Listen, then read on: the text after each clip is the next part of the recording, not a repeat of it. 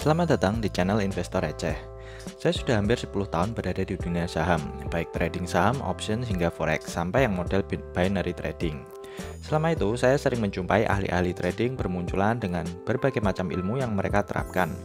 Mulai dari yang bisa mencetak ratusan persen dalam sehari, sampai ada menggaransi uang kembali jika trading loss. Kesamaan mereka, semua ujung-ujungnya jualan seminar maupun sistem ataupun robot. Yang saya ingin bahas di video kali ini bukan karena ingin menjelek-jelekan usaha mereka, namun saya hanya tidak ingin teman-teman menghabiskan uang hanya untuk membeli janji-janji para ahli tersebut. Saya sendiri pernah mengikuti seminar 3 hari hingga jutaan rupiah, yang ternyata semua materi bisa dipelajari sendiri di YouTube secara gratis, bahkan malah lebih baik. Lalu, kenapa tidak ada seorang ahli trading yang beneran bisa membuktikan hasil trading yang dia tunjukkan di seminarnya atau channel YouTube-nya? Coba cek di daftar orang terkaya. Kalian tidak akan menemukan seorang miliarder yang kaya dari trading, apalagi binary trading. Tetapi kalian akan menjumpai banyak miliarder yang kaya dari investasi saham seperti Warren Buffett. Ini adalah daftar orang terkaya 2018 menurut Forbes. Bisa kita lihat bahwa mayoritas orang menjadi miliarder karena usaha dan investasi, baik itu properti maupun saham.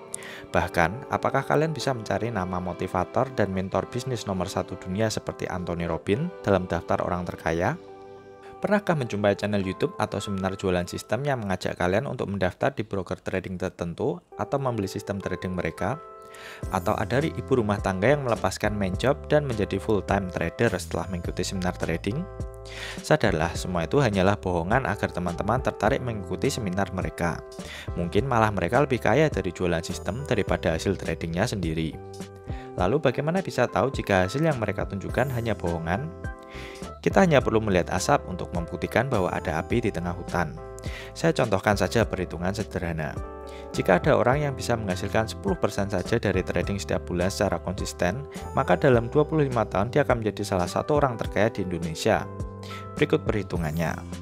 Jika dia menggunakan uang 1 juta dengan profit 10% per bulan atau 120% per tahun secara konsisten dengan compounding yaitu menggunakan profit di bulan sebelumnya untuk dimasukkan trading lagi di bulan berikutnya, maka di tahun ke-20 dia sudah menghasilkan 7 triliun. Dan di tahun ke-25, dia sudah menjadi orang terkaya di Indonesia dengan harta lebih dari 360 triliun, jauh melebihi duit Om Budi Hartono, pemilik grup Jarum yang hartanya di tahun 2018 sekitar 126 triliun. Ini hanya perhitungan dari satu orang saja. Bagaimana jika ada 100 orang yang ikut seminar, kemudian bisa sukses semua mendapatkan profit yang sama?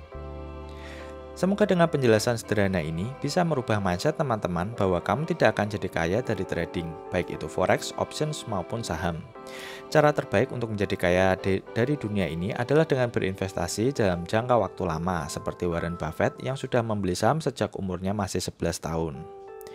Channel-channel trading yang sifatnya mengajak kalian untuk membeli sistem atau ikut seminar dengan cara mengiming-imingi dengan harta, mobil mewah, waktu yang bebas bisa trading sambil tiduran di pantai, itu semua hanya strategi marketing dan bisa saja penghasilan utama mereka malah dari seminar dan dari channel YouTube mereka. Oke, jika suka dan merasa video ini bermanfaat, silahkan klik like, bagi ke sosmed kamu, dan subscribe.